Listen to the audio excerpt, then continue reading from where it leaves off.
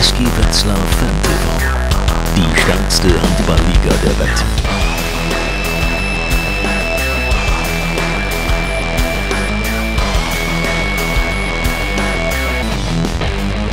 Präsentiert von Kinopolis Gießen. Es geht wieder los. Knapp 4000 Fans der HSG Wetzlar freuten sich auf den Heimspielauftakt in die neue Saison der Handball-Bundesliga. Die Mannschaft konnte im Kern zusammengehalten und punktuell verstärkt werden. Und die Grün-Weißen waren mit einem Auswärtssieg in die neue Saison gestartet. Gute Voraussetzungen also für das erste Spiel vor der euphorischen Kulisse in der Rital Arena. Und die HSG startete gut in die Partie gegen Pokalsieger Füchse Berlin. Frühe 4 zu 3 Führung durch Neuzugang Joao Ferraz. Doch danach übernahm Berlin die Kontrolle, traf über die zweite Welle mehrfach. Nach einem Doppelschlag von Vukovic und diesem Treffer von Fritz führt Berlin 8 zu 6.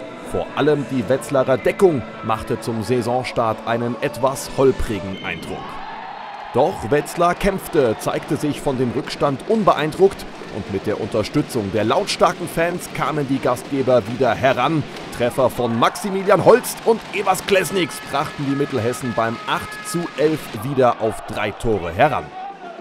Doch einer war richtig heiß bei seiner Rückkehr nach Wetzlar. Ex-HSG-Profi Kent Robin Tönnissen mit zwei Treffern am Stück. Doch zur Pause die Grün-Weißen immer noch in Schlagdistanz. Nur 13 zu 15 der Rückstand für die HSG. Und Trainer Wandschneider fand die passenden Worte. Wetzlar kam mit viel Schwung aus der Halbzeit.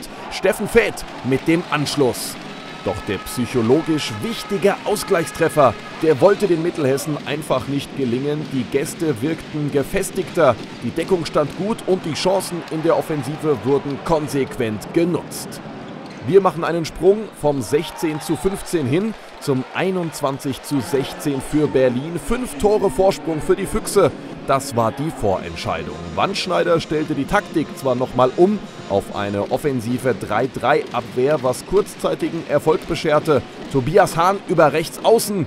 Aber zu mehr als Ergebniskosmetik langte es nicht mehr. Die HSG verliert das erste Spiel vor heimischer Kulisse mit 27 zu 33.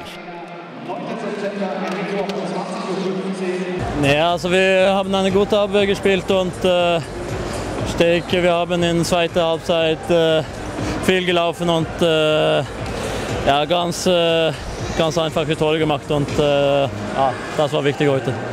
Ja, wir waren vorne nicht effektiv genug. Ähm, hat sicher auch was noch mit der Eingespieltheit zu tun, ganz klar. Ähm, sicherlich auch in der Abwehr einige Schwächen offenbart und äh, haben unser Gegenstoßverhalten nicht so gut rübergebracht.